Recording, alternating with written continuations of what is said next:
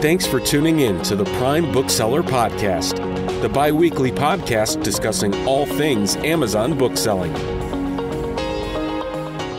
Hey, everybody, welcome back to another episode of the Prime Bookselling Podcast. I'm Eric, and we're going to do a really quick, short, sweet episode here today for you. And what we're talking about today is I just want to give the basic blueprint of how if a client comes to us and is looking to set up an Amazon account for the specific purpose of book selling, what what do we specifically do?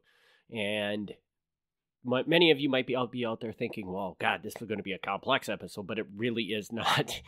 the fundamental pieces that you need to get your Amazon account up and running and and selling is not very hard. There's only a couple pieces that we even apply to each store and we've been running bookstores for 13 years successfully using this exact formula. So, what are those steps that we recommend everybody do with their account? Well, the first thing you got to do is get a sell an Amazon selling account if you don't have one. So, how do you do that? You go to sellercentral.com, sellercentral.amazon.com and get signed up for it there. That process can is long, rigorous, boring, lots of details, can take up to 10 days to get process is constantly changing, so I'm not even going to go delve into how you go about getting it, but um, things I've seen them ask for, I've seen them have people get on Zoom calls to confirm their identity. I've seen pe- them ask for utility bills with your name on it and address on it to confirm your identity. So that by far that's the longest step right there is just getting that account. So if you've gotten that done, the hardest part of setting up your store is already completed. So so what do we add on top of the just the basic seller account before we start selling books online? Um, there's basically well, we talked about one of the critical pieces, and I think that this is something that everybody on their selling account from day one should de- go in decide to do and that's the automated fulfillment removal settings go in there if you haven't listened to that episode go back to the previous episode listen to that um, it goes into detail on how to configure those and definitely get those set up on your account immediately. The other thing that we do is we're, we're going to add two pieces of third party software to each account. One of them is a listing software, one of them is a repricer. I highly, highly recommend everybody from the get go to have a repricer. Um, you can, if you're just getting started out, um, you can delay the repricer for a short period of time but I highly recommend your, your business is going to have the most success if you have a repricer setup. Um, in the future, I'm going to try to put together some trainings and videos that will cover both the repricer and the listing software we're going to talk about in more detail. But those are down the road as of right now. So, but so what you want to look at doing is first, most important, get that repricer. Um, I always use a repricer called Aura, A U R A repricer. Um, by no means is this repricer like the end all be all only recommendation I have. In fact, I know a lot of people that use BQool. I think BQool and Aura are virtually the same thing. I just learned about Aura first, so that's the one I use. But you can also look at BQool. Um, if now Aura, Aura, I believe BQool only runs about forty bucks a month, but Aura is like seventy seven dollars a month, I believe.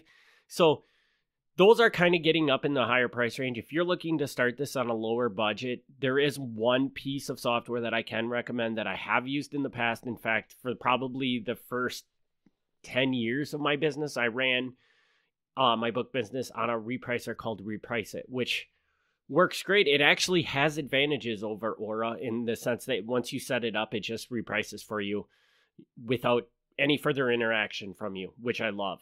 Which Aura there's constant updates you have to do to it to make sure that it's properly repricing everything, which can be a good thing and a bad thing. So, so you could look at these two options, but the first thing you need to do is look at one of these options, get it connected to your Amazon account. It's very important. None of these softwares will work unless you have a pro seller account. So when you set up your Amazon seller account, they're going to ask you if you just want a basic account or a pro seller. You want a pro seller account. It does cost you $39.99 a month to get that pro seller account, but nothing that leverages the Amazon API will work without that account, without that pro seller account. So these repricers, you can try to connect them to Amazon. It just won't work because that they're blocking you from that API. So make sure you have that. You add the repricer on top of that, whether you want it to be reprice it or Aura. Um, I did forget to mention with reprice it. I do highly recommend that you can start with reprice it just if you're looking to start on a lower budget, prove that this system works before jumping to BQool or Aura.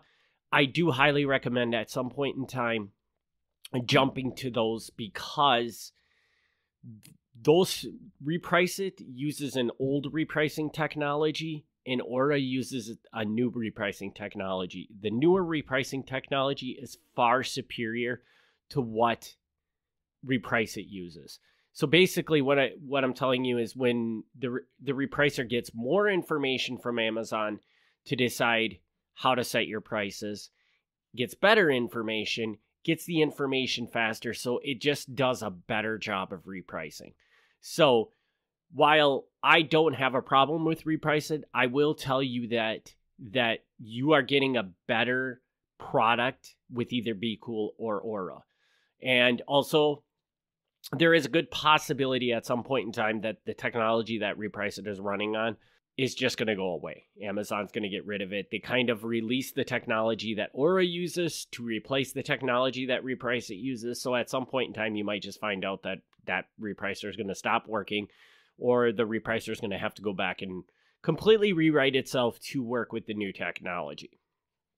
So you got you got three phases. So you got your Amazon Seller Central account you've got your you're signed up as a pro merchant on that or a professional seller whatever they call it these days for $39.99 a month you've re- hooked up a repricer you've also gone in and configured your amazon your amazon unfulfillable settings uh and then the the only, final step in this step i do i highly recommend as any seller if you're legitimately looking at getting into this business um, for the long haul. I do highly recommend that at some point in time you get a repricer, again, or a listing software.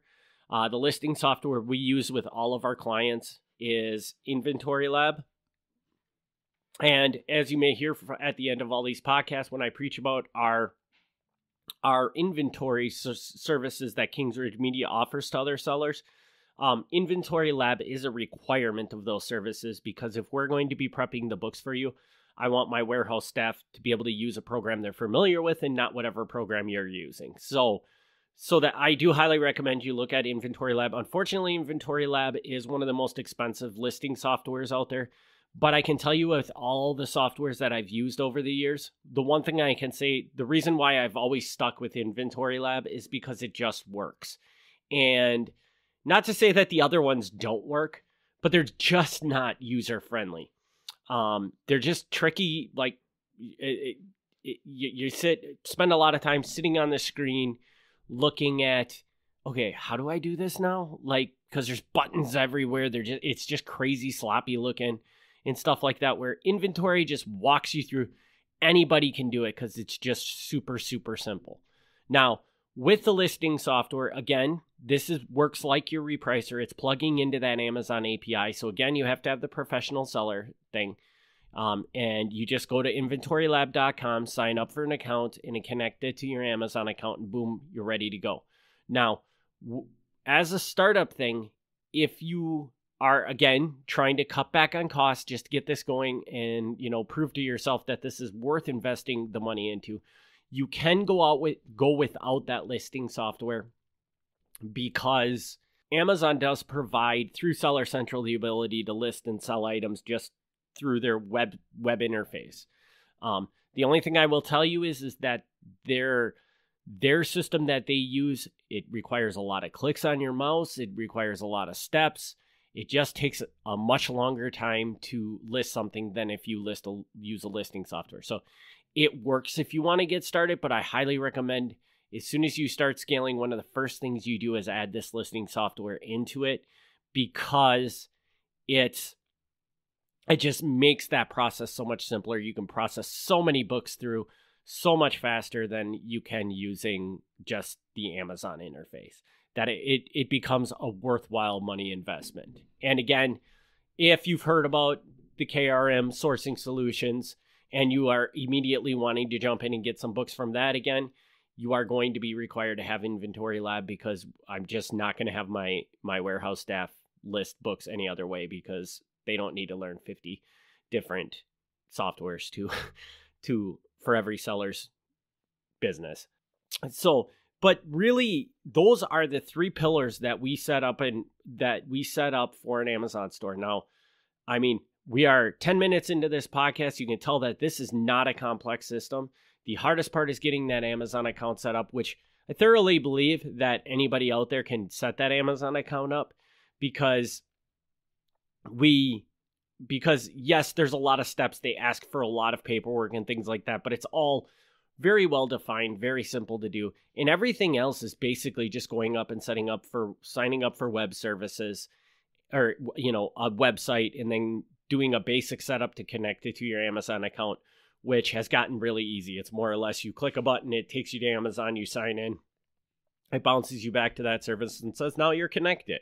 So that is really all you need to have that backbone of your business set up.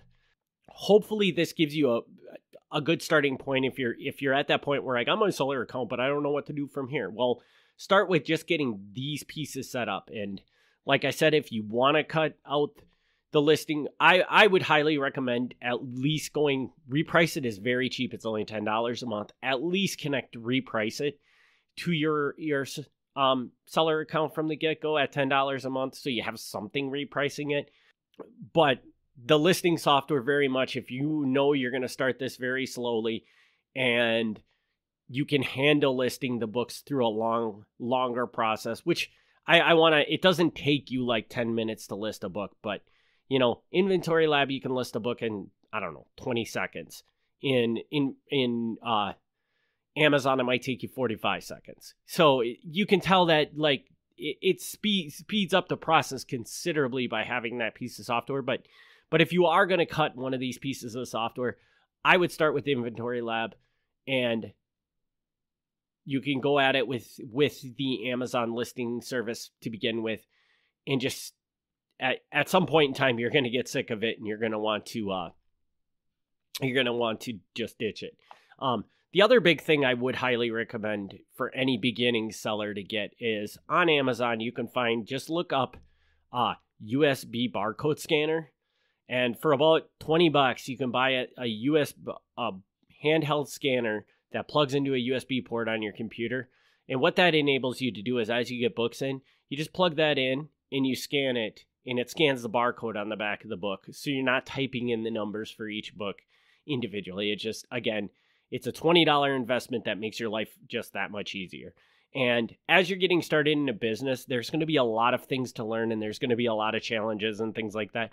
So, being actionable and trying to make it as simple as possible from the get go is really important. So, you don't burn out, don't get frustrated, and give up. Because the most likely time that you're going to give up on your business is going to be at the beginning because you're going to be seeing the least amount of return for the work you're putting in and things like that. So anything you can do to give yourself a little bit of win or make your life a little bit easier is just going to increase your chances of success. So keep that in mind.